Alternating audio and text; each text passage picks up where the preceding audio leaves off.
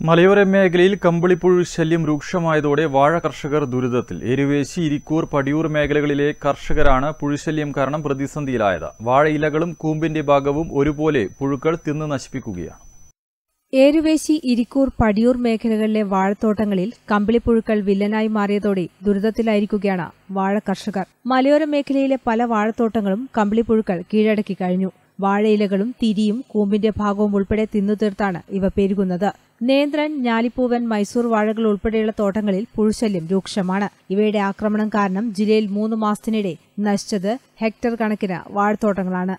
കൃഷിക്കാർ എന്ന് പറഞ്ഞാൽ ഇപ്പോൾ ഒരു കൃഷി മേഖലയിൽ എന്ന് പറഞ്ഞാൽ ഒരു ഭീഷണി അനുഭവപ്പെടുന്നതെന്ന് പറഞ്ഞാൽ ഒരു കമ്പിളി പൊച്ചു എന്ന് പറഞ്ഞതിന്റെ ഒരു ഉപദ്രവമാണ്.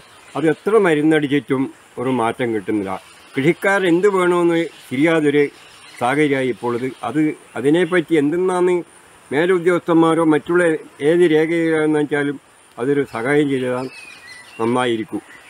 മുൻ വർഷങ്ങളിലും പൂഴ്ചയിലും ഉണ്ടായിരുന്നെങ്കിലും ചെറിയ രീതിയിൽ ഒറ്റപ്പെട്ട പ്രദേശങ്ങളിൽ മാത്രമായിരുന്നു. മഴ കാരണം മരുന്ന് തളിക്കാൻ കഴിയാത്തതും തിരിച്ചടിയായി. ഇത്തവണത്തെ കടുത്ത വേനൽ ചൂട് നേന്ത്രവാഴകളെ കാര്യമായി ബാധിച്ചിരുന്നു. പല സ്ഥലത്തും തോട്ടങ്ങൾ കരിഞ്ഞുണങ്ങി നശിച്ചു. അവശേഷിച്ച വാഴകളാവട്ടെ കമ്പിളിപ്പുഴുക്കളും തിന്നു നശിപ്പിച്ചു.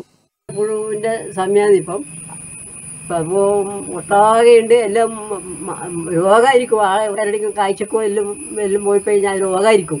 മഴക്കാലത്താണ് അധികമായി കാണുക. ഏ മഴേന്റെ സമയത്ത് അത് ഉണ്ടാവുക. ലോൺ എടുത്തും മറ്റും തുടങ്ങിയ കൃഷി നശിച്ചതോടെ എങ്ങനെ മുന്നോട്ടു പോകുമെന്ന ചിന്തയിലാണ് വാഴ കർഷകർ. അധികൃതർ പ്രശ്നത്തിന് ഉടൻ പരിഹാരം കാണണമെന്നാണ് ഇവർ ആവശ്യപ്പെടുന്നത്.